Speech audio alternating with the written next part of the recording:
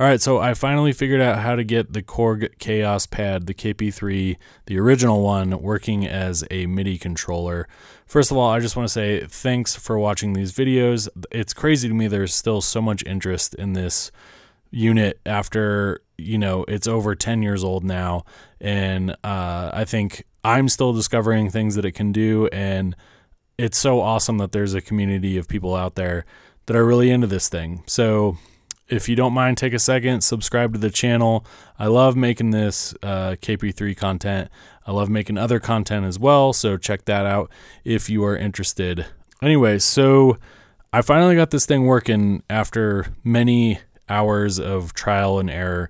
So the key was actually I stopped trying to hook it up through USB and I actually ended up going directly using MIDI cables, these 8-pin MIDI cables. You can see them back here, these little silver things. And these are running actually into the back of my interface. So the way I got this to work was I'm just using straight MIDI and you have to have an interface that has MIDI on it in order for it to work this way. You may have better luck with USB.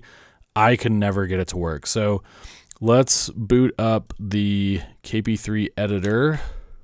I wish you could scale this thing, but you you cannot scale the KP3 editor at all. It's pretty annoying. Um, but anyway, we're going to go into external global control here and you can see you have a whole bunch of different things and I'll explain all this in a little bit. Um, but we're going to go into global. I'll show you that this is working by updating the text really quickly here. So right now you can see the idle text is saying, let's go, MIDI. And we're going to update it to uh, Kaoss Pad here. So we have the pad LED setting is chain. We're going to set it to character. So it actually displays the character. It says Kaoss Pad. And then we are going to go to transmit. And we're going to get an error message. It's actually not an error message, it's a warning message. It says this operation will overwrite the global data on the KP3 continue. Yes. And now we get an actual error message and it says the Korg USB MIDI driver is not installed, so certain functions may not work correctly. We recommend that you install the Korg USB MIDI driver. I have done this probably 25 times. I still get this error message. It doesn't matter what I do. But we're going to hit OK. You see the little thing happening up there? Now watch as we go to our idle text. It is updated to Kaoss Pad. So it's actually working. It's working over MIDI. The I don't even know how I have this set up. Let's go into preferences and see. Yeah, so you can see the MIDI in and MIDI out are through my interface. And honestly, I, I think this is probably the easiest way to do this. And it works really well. And I'm going to now show you how to use your favorite plugins with the KP3 as a MIDI controller.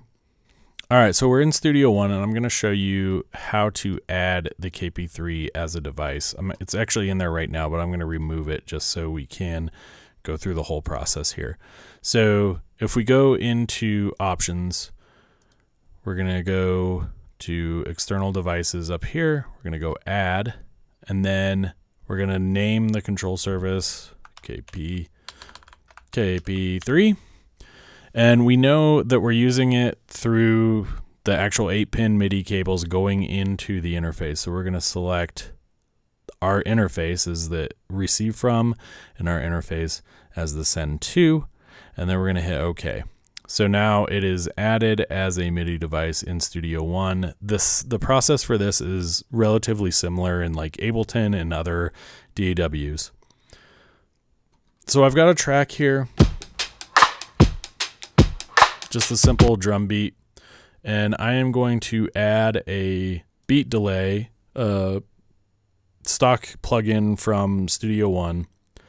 And I'm going to show you how we can kind of use the KP3 in a similar way that we use the onboard or native effects in the KP3, but control a plugin in a similar fashion using the touchpad. the plugin is up here, and you can see that KP3 is uh, selected as the focus device. If we hit this gear icon, and then we go to parameter, we're going to use recently touched. So basically, when we assign things to the controller, whatever was recently touched is going to be the default parameter that will then be assigned in the control surface, the KP3. So we'll select KP3 as the control. And as you see here, an, a little external devices uh, window pops up here. I'm just going to touch the Kaoss Pad here and you can kind of see what happens. Well, first we should hit MIDI learn because when you hit MIDI learn, it's going to just look for your input on the device. So you can see three things popped up. One, these two knobs and then this one over here. And this one over here is basically when you tap on the KP3, it acts as a toggle. And what's cool in Studio One is that you can actually change these to buttons. So they'll show up as buttons. But you can see I've got control one and control two. Control one is the Y axis, control two is the X axis.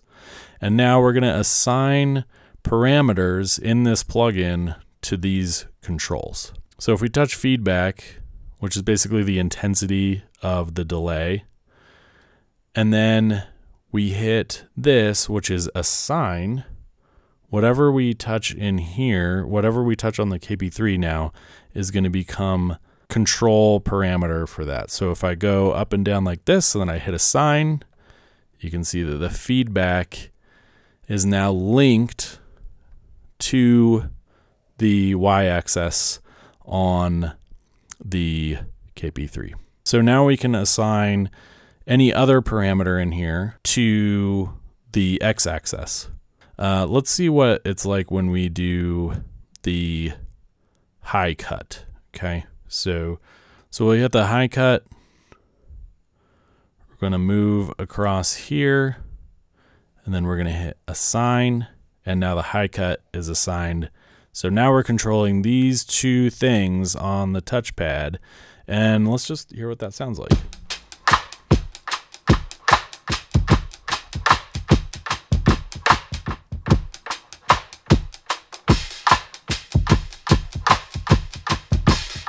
What if we did something a little bit more intense? So let's unassign this from the high cut and let's do beats. So this is actually going to be, uh, if you think of a delay plugin or a delay on the KP3, as you move across here, it's how quickly the delay is. This is actually the opposite. So this is super fast delay and this is super long delay, and then feedback is still on the Y and X axis. So let's see what that sounds like.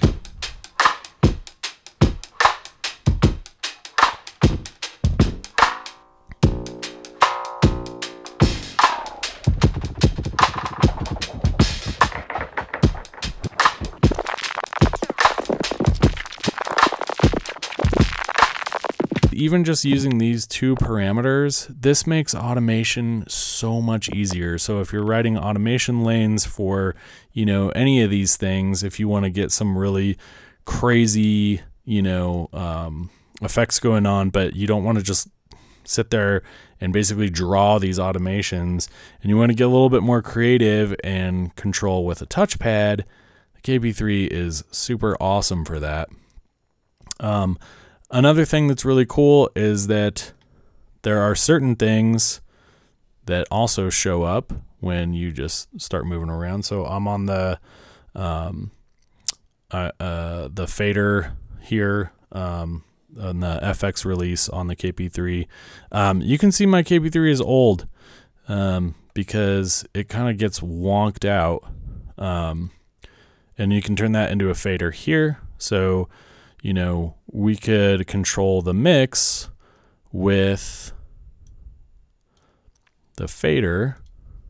So you can see the mix now is assigned. So you could get, you know, two handed with it and start controlling three things in the plugin with the KP3, which is really cool. Uh, there are other some other parameters that you can control. So here's a here's the effects depth knob. And, uh, you know, we could assign that to, let's say we want to assign it to width. So now we've got, you know, four different parameters that we're controlling with the KP3. So this is the basic functionality that you get if you're just plugging this thing in and uh, using MIDI learn in any DAW. These are the parameters that you'll get, and you can you know tweak and assign things to. What's really nice about Studio One and probably in other DAWs is that once these things are written, you can then go into any plugin and uh, click this the same drop down or whatever and all these things will show up again and then you all you got to do is basically just reassign them if i come if i close out of this beat delay and then open it back up again and the the kp3 is assigned as the midi controller all these things are going to hold so i don't go have i don't have to go back and reassign these things so you could find a favorite plugin and assign, you know, X, Y axis, all the buttons, and then go into a new session. And then you have this control uh, from the KP3 on that plugin all the time. You don't have to go and redo this again, which is which is really nice. Um, and then you can assign different roles for X, Y axis in different plugins, and that'll hold across too. All right, so that is the plug and play version of what you can do with the Kaoss Pad. But there's a lot more. So if we go back into the KP3 editor, you can see if we click on this external control tab, you've got all these different patterns in this drop down. And this is basically just configurations that you can use as a MIDI controller once you enter into external control. And I'll show you what that looks like. If we go, let's just say we use this pattern 4. And the way to get this to work is a little bit tricky because you have to hit transmit. You get this error message. Another error message. So you transmitted that. And now if we go into shift external control, we're now going to be using the KP3 as a controller as defined in this layout here. And I'll show you what that looks like. So if we um, remove all here, and then we just start touching things, you see how so many more controls show up. That's because now you can see in the uh, on the KP3 itself, you've got kind of faders here. And we can actually turn all these into faders. So you get a better visual of what that is. So you can imagine you could actually mix you know, from the KP3. It would probably be super cumbersome, but you could do it. So now we've got a Blake template and we start punching these things. These are, and we expand this. You can see that we've got all these buttons on the top row across. And we can change all these to buttons.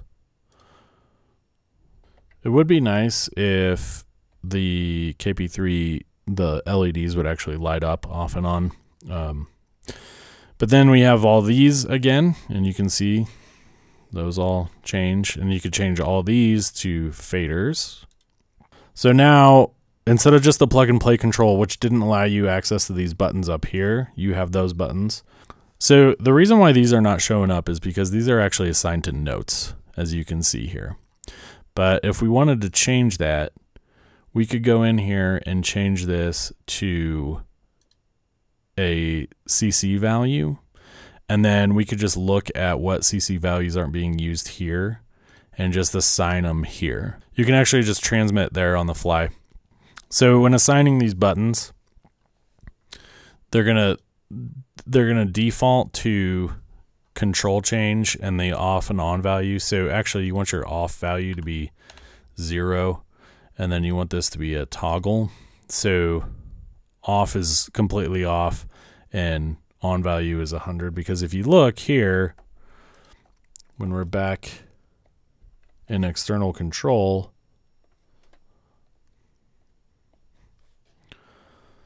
they're only going 64 to 100 so if we go in and change that to 0 to 100 and we change it to a toggle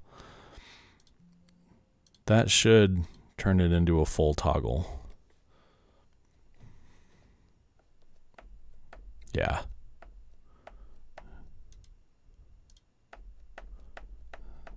There we go. So you can see there is a ton of functionality here, right? You've got a ton of control. And if you set this thing up to work with all your favorite plugins or even work in your DAW, I mean, you could use these as faders. Um, You've got a pretty robust control surface and probably way more functionality than you'll ever need. So there's two different ways to do it. So once we get out of external control, we just have the basic functionality and you can kind of see what that is here and it holds across, you know, what you have. So this this is this is 13 and 12. So if we just, you know, get out of external control, it goes back to the default thing. And then if we go back into external control, it goes into whatever is shown on the map here. Um, and you can see there's a ton of different patterns. Once you move into a different map, so let's just, we're going to remove all here. And then we're going to go in here and we're going to say, say we want to use this as our map.